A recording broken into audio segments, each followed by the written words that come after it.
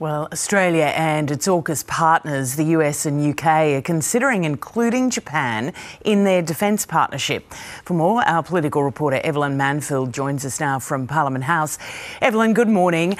Uh, there's been a fair bit of speculation about this, of Japan taking more of a role in AUKUS, but at the end of the day, it's not really going to be JAUKUS, as some have nicknamed it.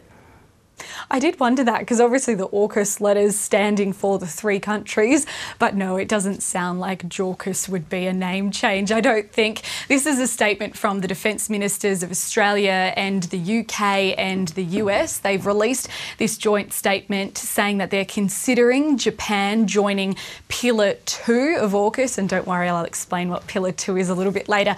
But um, it had the statement has stopped short of formally making this announcement of including Japan.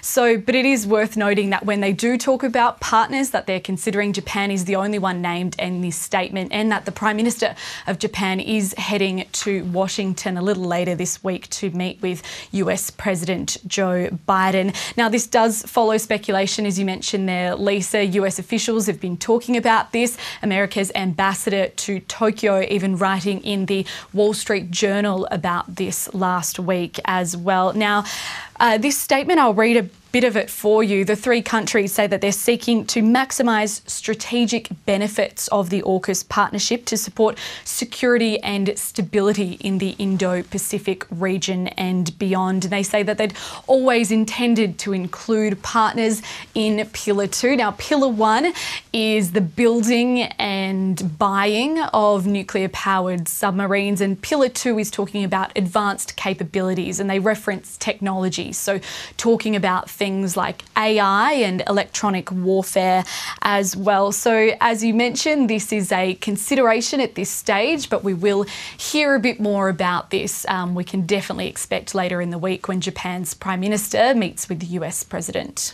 No surprises that it's likely to prompt concerns from China.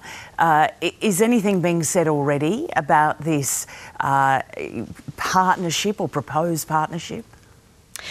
Yes, so China's foreign ministry has reportedly told the South China Morning Post that it is gravely concerned about the prospect of Japan joining this partnership. It says that it could intensify the arms race in the Indo Pacific and potentially disrupt regional peace and stability. So that's what the Chinese Foreign Ministry has reportedly told a newspaper there.